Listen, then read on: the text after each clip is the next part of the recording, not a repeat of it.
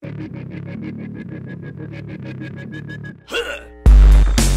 that? My, Monte, real quick, uh, you know, obviously present company excluded, uh, but um, w- was there anybody from? I mean, how, how did how did guys? Did you go out and recruit guys, or they always come to you usually?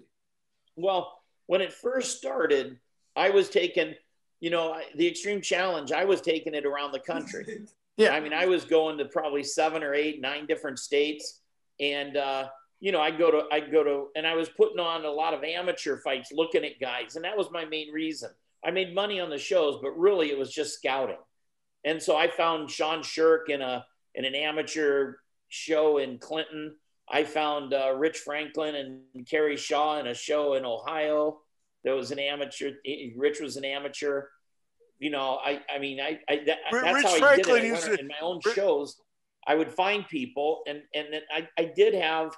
I got to say, I mean, I had a pretty good eye for what guys could be, and I'd say if you know if you if you take what you have now and you come to the Quad Cities, you know, you, you you're going to become something.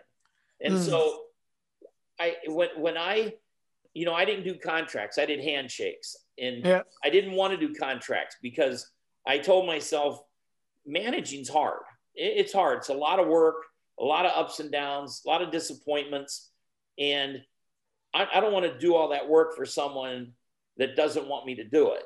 Yeah. So if you, I've never had a person call me and say I want I want out of our deal that I didn't say go. It just well, that's a lie. I did it to Robbie.